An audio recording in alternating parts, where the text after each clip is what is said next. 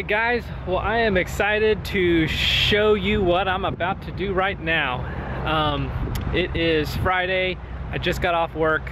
I'm actually in the back parking lot of uh, my workplace, and uh, I wanted to do what I'm uh, about to show you here because there's a solid uh, parking uh, uh, surface here, as opposed to at my house where I've just got gravel. So what I'm going to do, um, attempt to do here in the next few minutes is basically uh, something that I think is probably the, it's probably going to be the most important thing I ever do to this van uh, in terms of safety. And um, when I bought this van, this is a 15 passenger church bus, church van that I bought from a, a local church. And um, when I got the van, I really didn't do a whole lot of research in terms of uh, vans and I, I, I really kind of didn't know what I was getting into. I, I, not, not a bad thing, but I just didn't understand everything. And so one of the things that I've learned since the purchase of the van is that 15 passenger vans in particular, and a lot of these type of Econoline vans have a higher chance of turnover um, in evasive maneuvers and steering. And so um, I started researching and I came across a product that uh, apparently really mitigates that uh, that danger. And it's a uh, the Roadmaster active suspension. And you can see these here.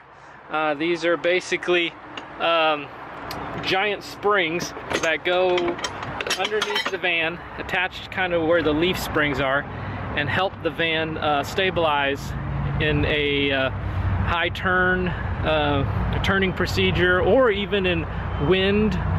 Um, it helps keep the van level and stabilized. And uh, I spoke with the guys over there Roadmaster, uh, a gentleman named Will, great guys over there.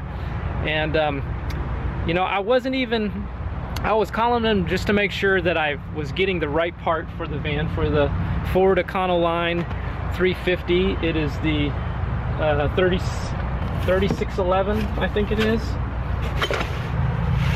I think that's the, the model. And um, I'm pretty sure that's the model, 3611. Um, but in talking with them, they were really interested in what I was doing. And um, uh, just uh, in full disclosure, we uh, struck up a a little deal where um, I would definitely do a video, this video right here, and show the installation and uh, kind of my feedback, and uh, they would give me a small discount. And um, uh, again, it's a, a small discount. As they give me 10% off and um, and free shipping, which I would have paid full price anyways, but just to have that um, little extra um, helps saves a little. So anyways, I'm gonna give it um, a full review. I'm gonna kind of do a bounce test and a, and a shake test on the van before I install it and then record that and then we'll kind of compare it. But there's some videos out there, in fact, uh, one in particular that I want you to watch uh, as I'm getting set up here and uh, take a look at it, see what this uh, Roadmaster active suspension can do and uh, it might be something that you might want to install on your van as well. So take a look at this video and I'll be right back. Just look at how the 15 passenger van compares to a regular van. On most models, the wheelbase is the same, but you can see on the Ford and Dodge 15 passenger vans, the back end has been extended. That means that when fully loaded, there is a seat with four passengers behind the rear axle. That tends to make the back end heavy so that when there's a sudden swerve, the rear end can swing out. The other critical issue is that the van is top heavy, it has what engineers call a high center of gravity. The more people on board, the more top heavy it becomes. The GM van is a different design. The wheelbase is longer. Engineers say that lowers the chance that this van will skid sideways. But when loaded, the GM van is also top heavy, much like the Ford and the Dodge.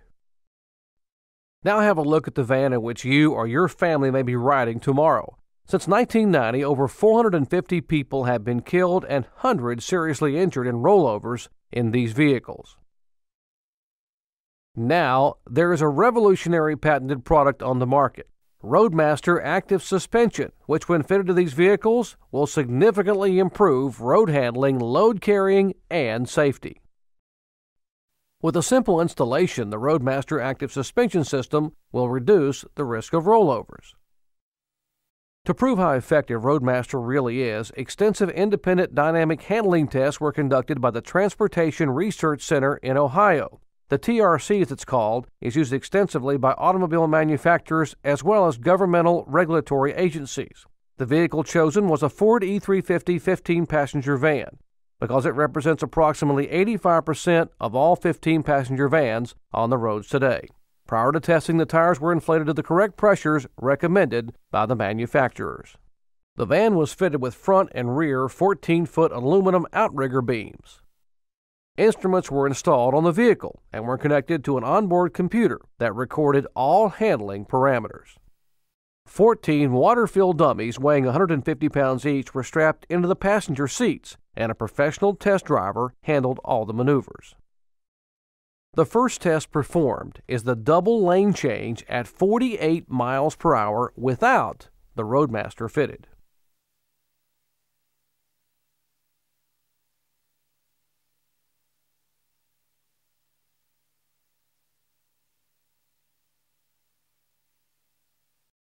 Now the same test also at 48 miles per hour, but with the Roadmaster active suspension installed.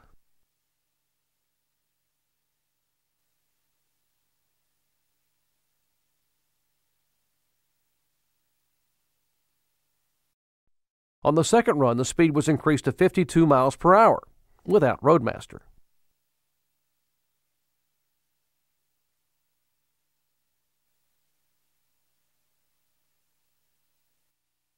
As you see, the van is totally out of control. The right front wheel has lifted. Now, the same test at a higher speed of 55 miles per hour with Roadmaster.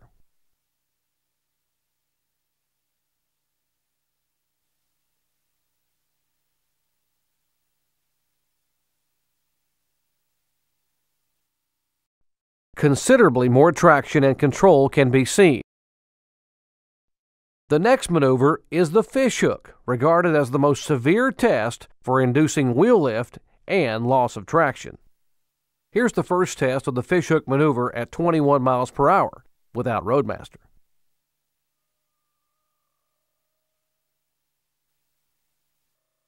Notice the right front wheel has lifted. Now the same test also at 21 miles per hour, but with Roadmaster installed.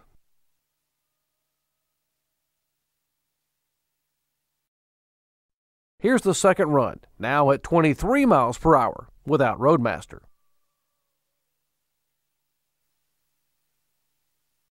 Frightening, isn't it? Both wheels are completely off the ground, and the vehicle is dangerously out of control. This could indeed have caused a rollover.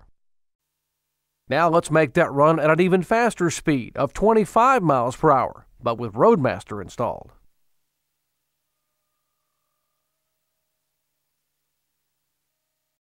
As you can see, all four wheels are still on the ground, and the vehicle is definitely under control. Okay, so, um, yeah, if you were, saw that video, you know um, as much as I do how scary something like that could be to have uh, your vehicle roll over like that. So, um, all right, so what we're gonna do is we're gonna do an install and um, I've never done this before. In fact, this is actually good because uh, taking off the wheels of the van uh, will make sure that I have everything together just in case we do travel that if I have a flat or something that I can take the, the wheels off with what I have um, and I know how to do it.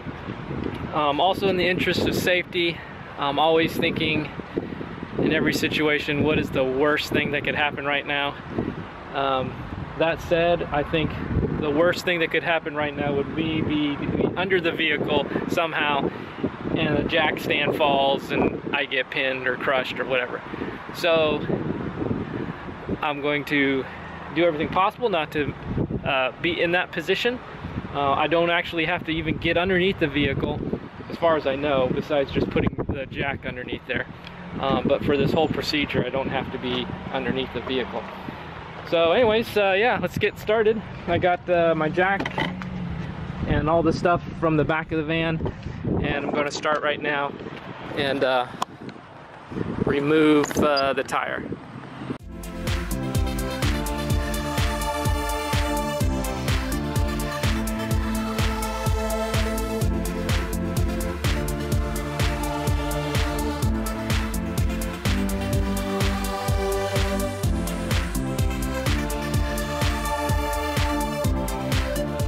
Okay, well I think the hardest part of this whole procedure is going to be just getting the tires off. Um, I think one thing I learned so far in this is I need to have a socket that'll fit on these lugs besides just the regular um, lug wrench um, to make it easier to get these uh, nuts off. So now comes what I think is probably going to be the easier part.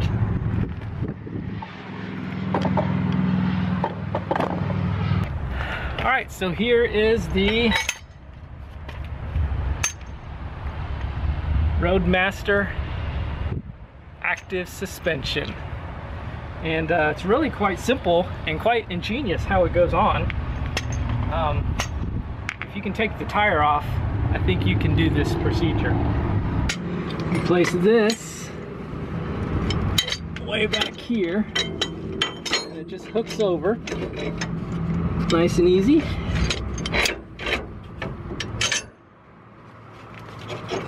Like that. And then this goes like this. And I probably want to take this piece off. All right, so we need to turn this because we need to extend this uh, out further.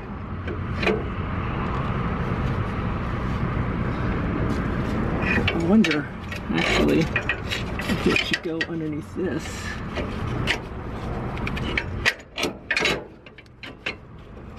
I wonder if that's the way it should go. I think it is. All right, so we just need to extend it a little bit. So we hold that and turn.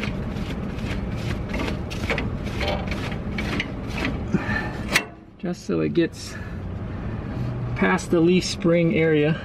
All right, so what we've done here is we've put the the hook down here, comes all the way down, and then the the space, uh, the the spacer and the attachment goes right there.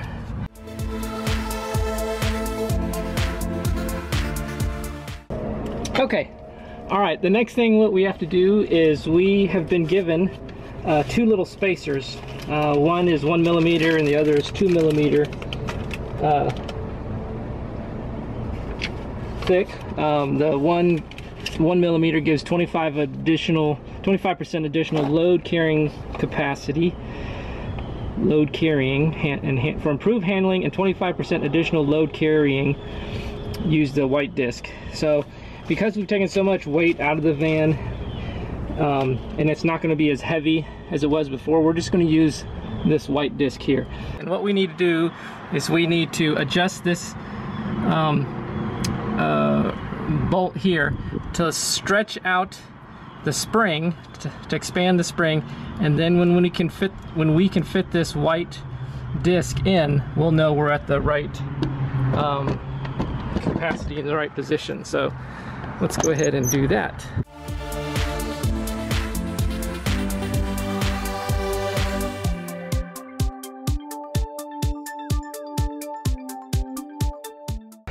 okay so we got the we got it fitted where the white disc got the spring extended where the white discs slide in. And then all we do is we roll these lock nuts down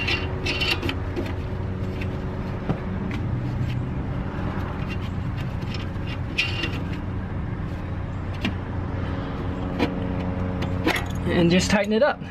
So really that's uh, kind of all there is to it. Now it's just a matter of putting the wheel back on and doing the other side. Again, the hardest part of this whole job was just taking the tires off. And uh, which is something I needed to try to do anyways, like I said before, just so I had the um, experience doing it with this van, just in case for emergencies. So I'm going to go ahead and finish up, do the other one, and then uh, give it a test drive. All right.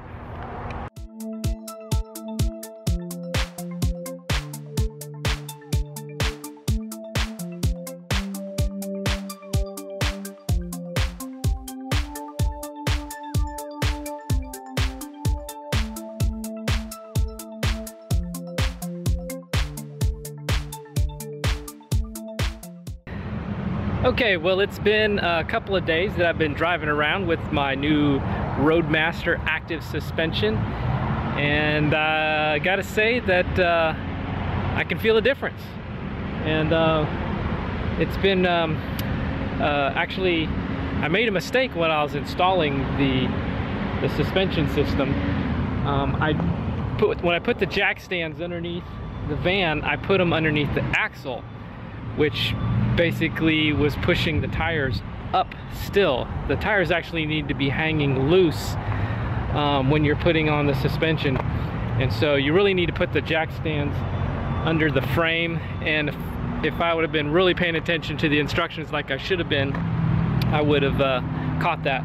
Uh, but fortunately, didn't do it, uh, doesn't ruin anything. And so I actually took it over to uh, friends, uh, some great folks over here, and they got, got it up on a lift for me, and uh, we readjusted it, and so uh, so it rides great, and um, I'm really really happy with it, and again I think it's probably the most important thing that you can probably do to a van, especially a 15 passenger van, for for safety features.